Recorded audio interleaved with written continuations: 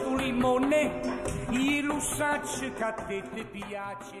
Okay, um, this video is going to be devoted to uh, uh, balancing, sort of beginning practice of balancing chemical equations. So we're just going to do two uh, short exercises uh, to practice balancing. Here is our first equation. I will tell you immediately not balanced, although eventually you'll be able to look at them on your own and figure that out. Um, if you are playing at home and you have a way of balancing that works for you, you are more than welcome to do it that way. Uh, however, I'm just going to show you the way that I would do it.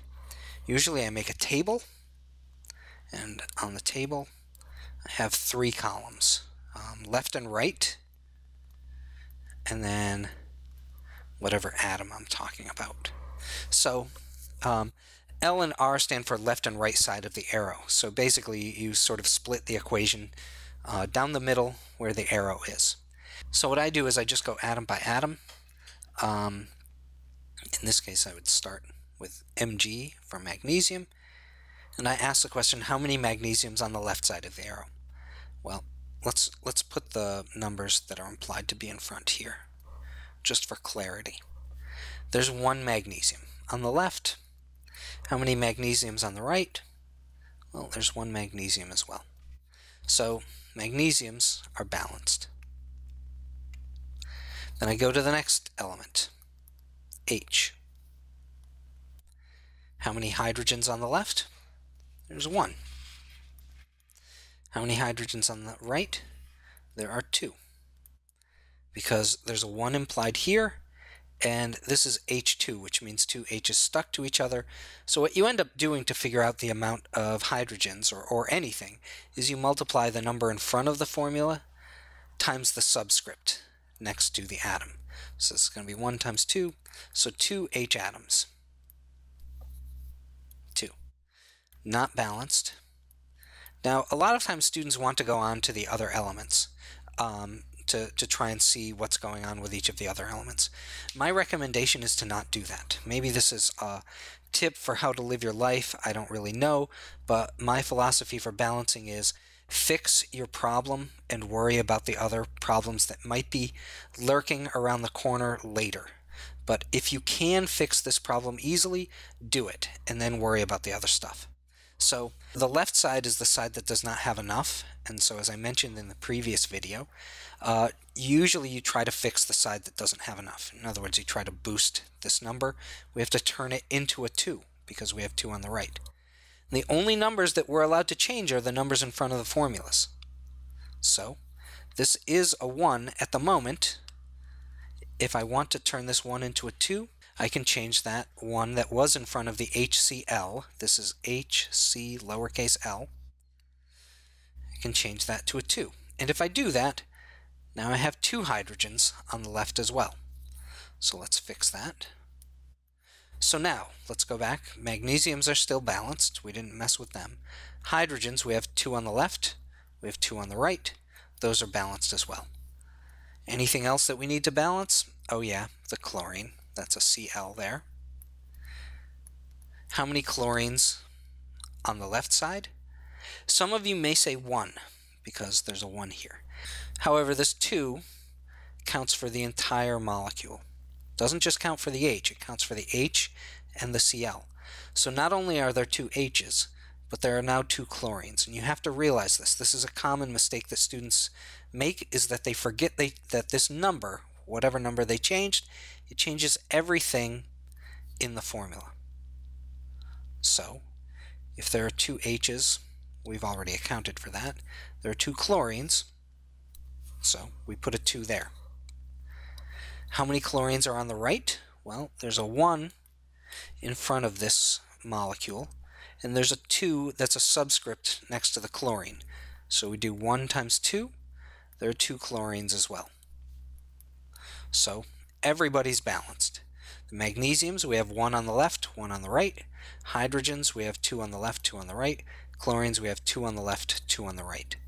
So the, the way this equation was written originally, Mg plus HCl, makes MgCl2 plus H2. Not balanced. Or think of it as being a slightly incorrect recipe. And what we did is we said, yeah, there should be a 1 here, and there was. However, there should be a 2 over in front of the HCl. And the, the other ones that were implied to be there in front of the other formulas, they get to stay. So the correct formula is 1 magnesium needs to be mixed with 2 HCl's, and that will make 2 Mg, uh, I'm sorry, that will make 1 MgCl2 and 1 H2 molecule as well. So we just balanced another equation. Now you can ask yourself, why do we bother balancing equations like this? Um, mostly, all right, here's a moment of honesty, mostly it's to make you suffer. I remember talking with a chemist a few years ago, and he was, uh, we, we were talking about the state of chemistry education, and we were both saying it is kind of funny that uh, that beginning chemistry students are forced to balance equations because real chemists probably have not had to balance equations uh, in 150 years. So you are learning a very old technique. But again, um, you know, this is a, a, test of whether you can think logically about unusual things. So um, th that's sort of what this is here for. Uh, in, in, a more practical sense, however, uh, why do we bother balancing equations? It's a more accurate description. Uh, it more clearly communicates what's happening in a chemical reaction. Um, it also lets us figure out how much product, how, many, how much of a different product we can make when you see a chemical reaction. So in other words, imagine that you had a recipe book, but the amounts of the ingredients and the amount of servings you could make in your recipe book were all wrong. You would not be happy with that recipe book. You wouldn't know how much uh, how many eggs you needed to buy, how many, you know, how many servings you could make if the recipe if the recipes were all wrong. If you had a chemistry book where all of the equations were unbalanced, you would be similarly unhappy. So uh, because you wouldn't know how much magnesium you would need to mix with how much uh, HCl and how much H2 you could actually make or how much MgCl2. The only way that you could figure out how much of everything you could make and how much of everything you needed is if the equation was balanced. So that's sort of the motivation behind why chemists actually balance equations when they do balance them. So as far as uh, what you need to know, should be able to look at an equation and tell whether it's balanced or not. If it's not balanced, you should be able to balance it. And this requires a fair amount of practice, so here's some more practice. Here is an equation uh, the first question is, is it balanced? I'll tell you right off the bat, no. Um, you can spend a couple of minutes uh, balancing it, or if, you know, so you can pause the video and when you unpause, I will uh, go through it. So the way that I would do this, again, is I would make my table, left side and right side of the arrow, and a column for what type of atom we're talking about. And I just go one by one through each atom. So let's start with carbon. How many carbons on the left? Well, there's one, because let's write in the ones that we're starting with here. So there's no subscript to the right of the carbon, so there's a 1 that's implied, so it's 1 times 1. So 1 carbon on the left. How many carbons on the right? Well, there's no subscript to the right of this carbon either, so we're doing 1 times 1 on the right side as well. 1 carbon on the right. Carbons are balanced. Yay. Let's go to the next element. Next element is hydrogen. There's a 4 that's a subscript to the right of the hydrogen. So we do 1 times 4 is 4. There are 4 hydrogens on the left. There's a 2, there's a subscript of 2 to the right of this hydrogen. So we do 1 times 2. There are 2 hydrogens on the right, not balanced. And again, um, the, what you typically do is you find the side that is does not have enough, and you try to boost up this number. So we need to turn this 2 into a 4 to make the h's balance. However, I don't get to change this number. I can't say that we have H4O. That's not allowed. The only number I get to change is this one, this one, this one, and this one. Obviously, this is the one we want to change because that will change the number of h's that we have. And if I change this from a 1 to a 2, in other words, if I double it, then it's 2 times 2. and we would have four hydrogens. So this 2 would be transformed into a 4. So now we have four H's on the left, 4. We have four H's on the right, 4. Now it's balanced. So are we done? Nope, we've got another element waiting in the wings. It's oxygen. How many oxygens on the left? There are two because of this subscript of 2 and this 1 in front. So 1 times 2 is 2. Two oxygens on the left. How many oxygens on the right? This can be tricky to some students. The problem is there are oxygens in two different formulas on the right side, and you have to make sure that you count them all. So, how many oxygens here? Well, there's a subscript of 2 and there's a 1 here. So there are a total of two oxygens in this molecule. But that's not the only one that has oxygens in it. There's a 1 implied to be in the oxygen in the formula for for water for one oxygen, but we have two of them. So what's 2 times 1? That's 2. So there are two oxygens also uh, that are in our two water molecules. So two water molecules have two oxygens in them. One CO2 molecule also has two oxygens in it. So if we count up all of the oxygens, all of them, on the right side of the arrow, it's a total of four oxygens. So the oxygens are not balanced either because we only had two oxygens on the left, we've got four on the right. So we need to boost the side that does not have enough. However, we are only allowed to change this number in front of the formula. So what number should we change it to? Well, if I double it, if I change the 1 to a 2, then 2 times 2 is 4.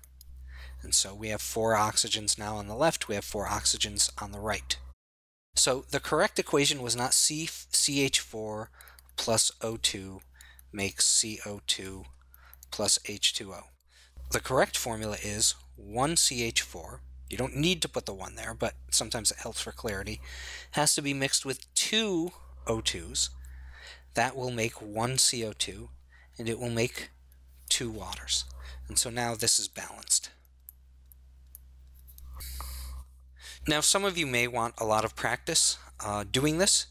Um, if you Google this phrase, PHET balancing chemical equations, um, and you look at the first hit that you get, there is a website, um, I guess at the University of Colorado, where they have a pretty helpful game for helping you practice balance equations. So if you go to this site and you click on game,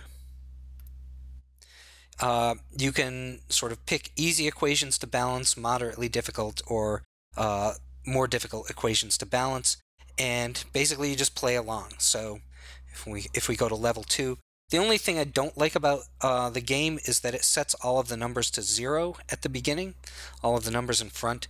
You should really set them to one. So if we set them all to one, then it gives you this uh, this visual of the different atoms, and then you can adjust the numbers up and down to try to balance your equation. So um, this site is pretty can be pretty useful. I think a lot of students like it. If we have one of everything in our equation, if we look, there are two yellow ones on the left, there's only one yellow one on the right. So maybe if we double the amount of yellow ones on the right, that will be balanced. There are two orange atoms on the left, there are two orange atoms on the right, so those are balanced. There are two white atoms on the left, there are now two white atoms on the right, so we've probably balanced it. The correct balanced equation is 1 OF2 plus 1 H2O is transformed into 1 O2 plus 2 HFs. And then we can check to see if we're right. And that was a very loud ding that's hurting my head now, uh, but we got it right and then you can go along and continue to play. So if you find that site useful, knock yourself out. That is the end of practicing uh, balancing equations.